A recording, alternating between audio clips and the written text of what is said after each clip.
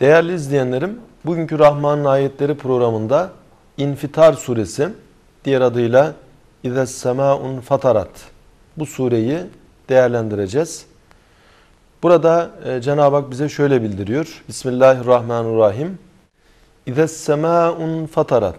Sema yarıldığında ve izel kevakibun tesarat yıldızlar dağılıp saçıldığında ve izel biharu fuccirat denizler taşkın hale geldiğinde ve izel kuburu bu'thirat kabirler deşildiğinde alimet nefsum ma gaddemet ve akharat o zaman her bir nefis neyi takdim etti, neyi geride bıraktı bunları bilecektir.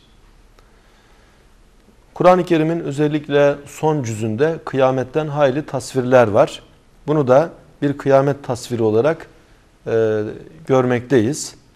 Ve e, kıyametin o hengamında, kıyamet dediğimiz dünyanın ölümü, alemin ölümü, o alemin ölümünde artık sema yarılacak.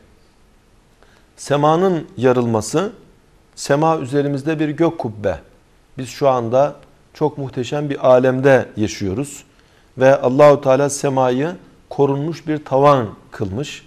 Üzerimize bir gök kubbe olarak onu yerleştirmiş. Ama kıyamet koptuğunda artık o sema inşikak edecek. O sema parça parça olacak ve böylece alem harap edilecek.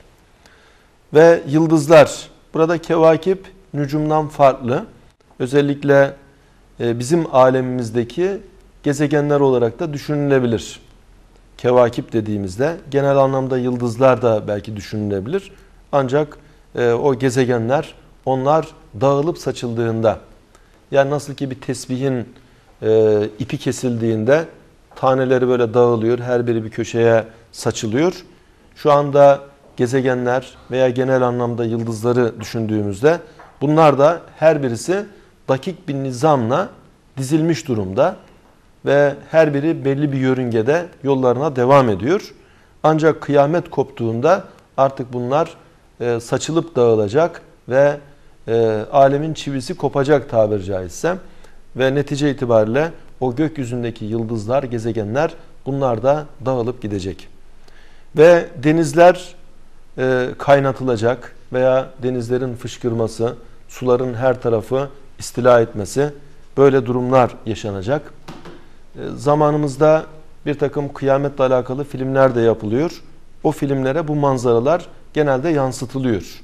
Denizlerin sularının böyle kabarması, şehirleri böyle istila etmesi filmlere de yansıtılan bir durum. Ve kabirler deşildiğinde yani şu anda toprağın altında Hazreti Adem'den beri sayısını bilemediğimiz kadar insanlar e, yer alıyor. Bunlar beden itibariyle kabirlere bırakılmış durumda. Ama e, kıyamet koptuğunda artık e, kabirler deşilecek. Kabirlerdeki şeyler dışarıya çıkacak.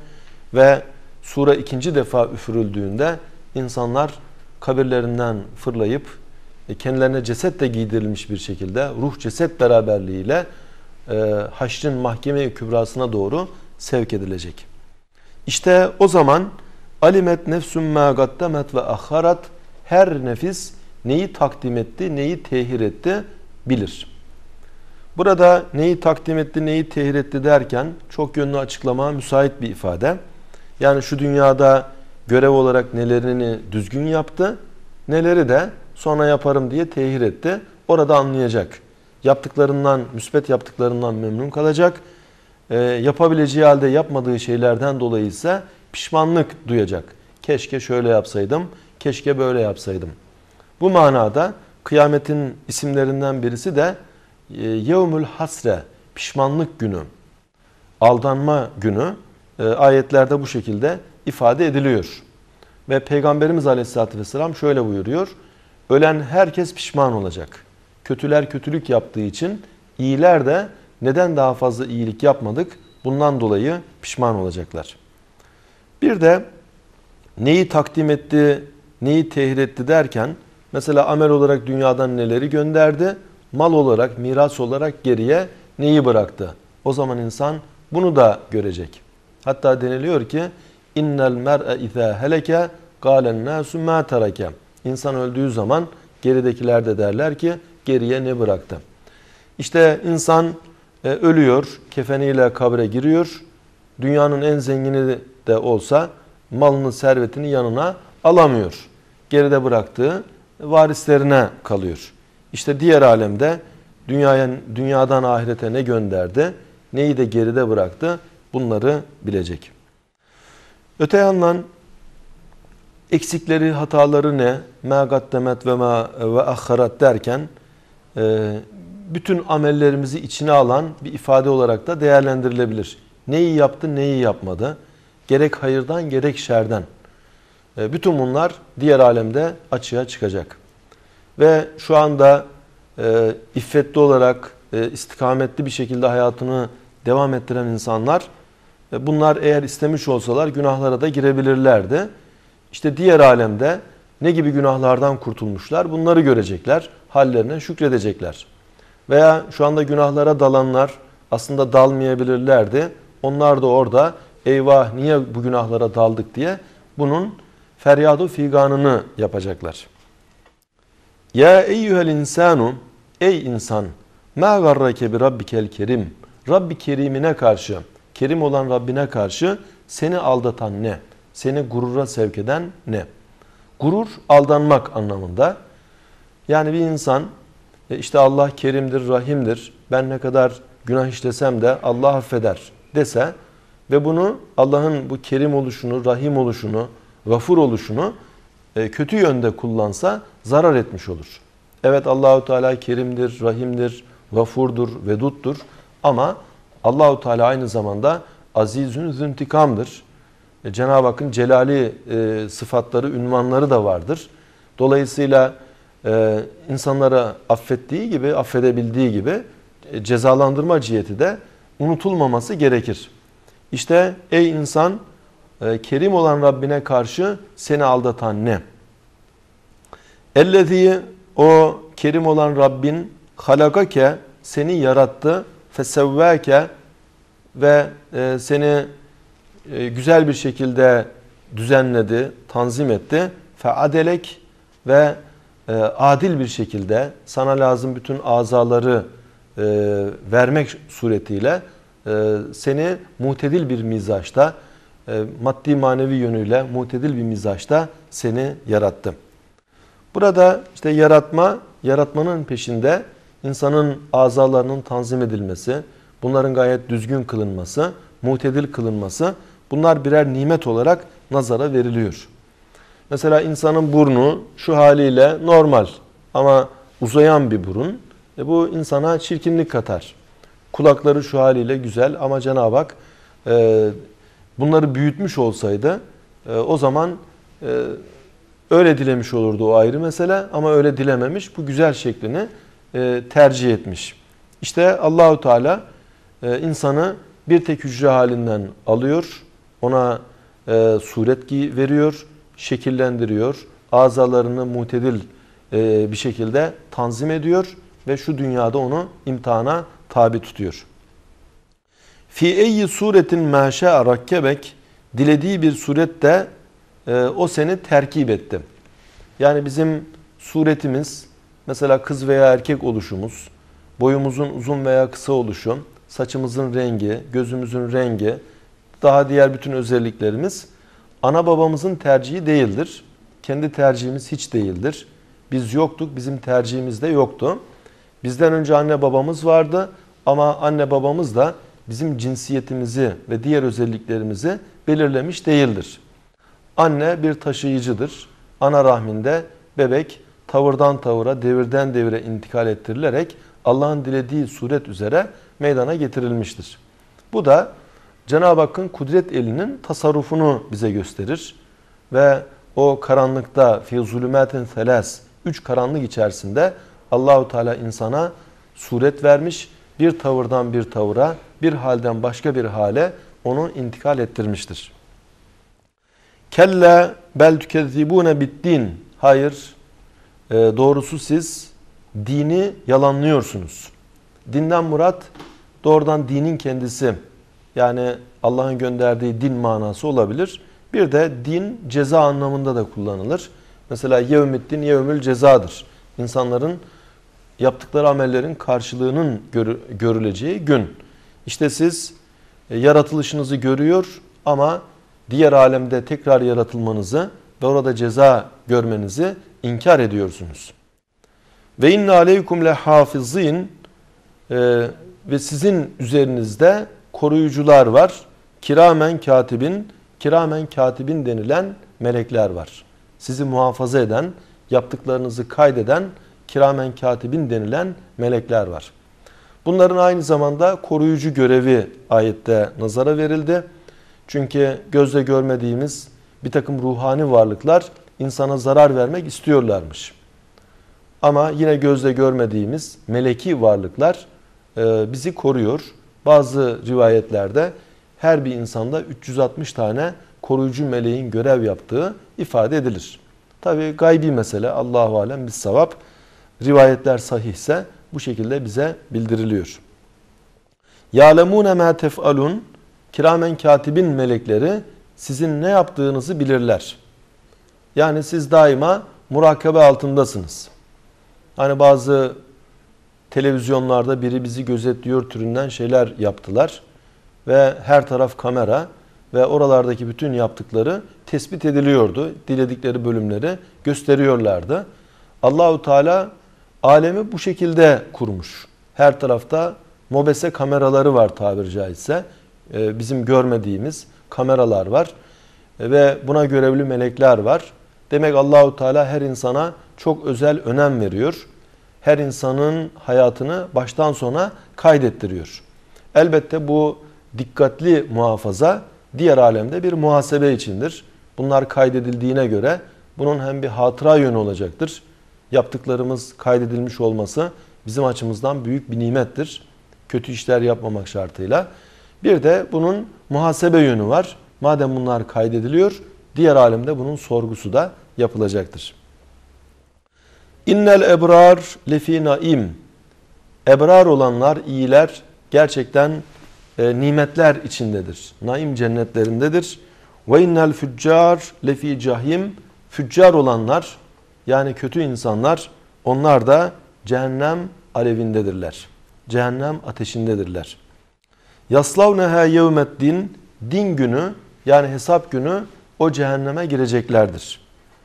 Ve ma human ha bi gaibin ve onlar ondan gaib değillerdir. Yani kaybolmayacaklardır. Ondan bir kurtuluşları yoktur. İnsan şu dünyada cezasından kaçabilir. Diyelim bir cinayet işlemiştir veya bir hırsızlık yapmıştır. E, devletin emniyet kuvvetleri onu yakalamamışsa ömür boyu kaçabilir. Hapse girmeden bu dünyadan gidebilir. Ama diğer alemde cehennem gibi bir hapisten orayı hak edenler için bir kurtuluş söz konusu değildir. Ve kaçmakla kurtulabilecek değillerdir. E, çünkü e, Allahu Teala'nın kader programı böyle. İşte dünyada ölümü, hayatı yaratmış. İnsanlar belli bir hayat yaşadıktan sonra ölüyor. Ve dünya gemisi ahirete doğru yol alıyor. E, yok ben gitmem dese bazı insanlar, gitmem demek oraya gitmeye engel değil. İşte e, bu tarzda e, kaçıp kurtulunamayacak bir durum söz konusu. Her tarafta kameraların kayıtları söz konusu ve ona göre de insan diğer alemde bunun karşılığını görecek. Ve ma edrake ma yevmüddin. Yevmüddin nedir? Bilir misin? Malum bu yevmüddin ifadesi Fatiha'da da geçiyor. Maliki yevmüddin. Din gününün maliki. Din gününün sahibi.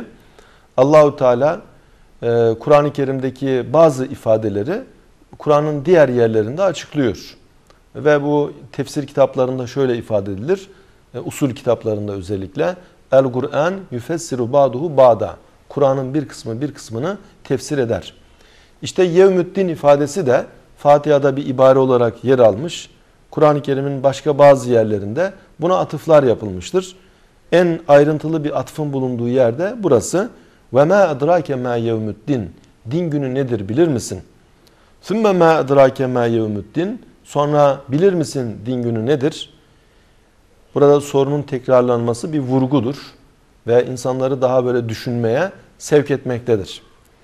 Yevme la temliku nefsun li nefsin şey'e yani o gün öyle bir gün ki hiçbir nefis bir başkasına sahip olamaz. Bir başkasına fayda veremez. E, kimse kimseyi kurtaramaz. Vel emru yevme izillillah o gün bütün emir Allah'ındır. Aslında şu anda dünyada da bütün emir Allah'ındır. Allahu kan ve ma lem yeşe lem yekun. Allah'ın dilediği olur, dilemediği olmaz. Yani şu alemde hiçbir insan veya hiçbir varlık Allah'a rağmen bir şey yapamaz. Ama Allah izin vermiştir, yetki vermiştir. O ayrı mesele. Ee, şöyle ki şeytanlar diyelim insanları yoldan çıkarıyor. Allah izin vermeseydi şeytan diye bir varlık zaten olmazdı. Şeytanın gücü kuvveti de olmazdı. Öte yandan şu dünya hayatında bir takım zalimler, despotlar e, görünüşte e, çok rahatlıkla kendilerine herhangi bir müdahale olmadan istedikleri gibi e, icraatlarını yapıyorlar. Asıyorlar, kesiyorlar, zulmediyorlar. Bunları Allah'a rağmen yapıyor değiller. Allah izin vermiş. İzin vermesi de pek çok hikmetlere mebni. Yani şöyle e, düşünülebilir.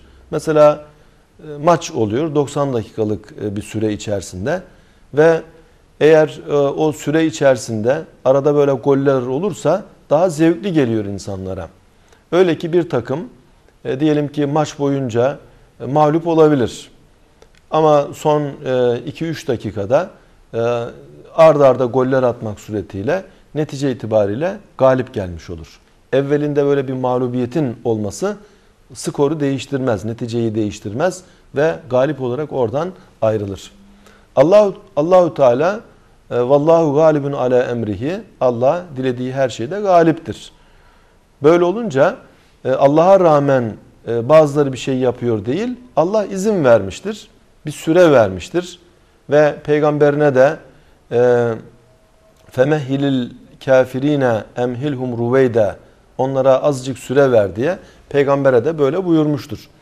Dolayısıyla dünyada onların zaman zaman galip gelmeleri, galip görülmeleri daha dünyadaki olaylara bir heyecan katıyor. Ehli imanı bu tembellikten kurtarıyor. Din, vatan, millet elden gidiyor diye daha böyle bir heyecan söz konusu oluyor. Ve bunun neticesinde e, insanlar dinine daha iyi sarılmaya çalışıyor. Demek ki Allahu Teala'nın şu dünyada kafirlere mühlet vermesi veya bir takım e, şeytanlara bazı e, imkanlar vermesi imtihan olmasından dolayı. Bunlar kendi keyiflerine istediklerini yapabilir anlamında değil. İnsanlar bu şekilde imtihan ediliyor. Cinler bu şekilde imtihan ediliyor. Heyecanlı bir imtihan. Gerçekten insanları ve e, cinleri çetin bir imtihandan geçiriyor Allahu Teala ve netice itibariyle de bütün yaptıkları madem kaydediliyor, diğer alemde bunun bir murakabesi, bir muhasebesi olacak. Cenab-ı Hak bizleri şu dünya hayatında bu şuur içinde adımını atan, ona göre hal ve hareketlerine dikkat eden, diğer alemde de Cenab-ı Hakk'ın lütfuna, cennetine, rahmetine nail olan bahtiyarlardan eylesin. Bir başka programımızda beraber olmak ümidiyle hayırlı günler, hayırlı geceler diliyorum.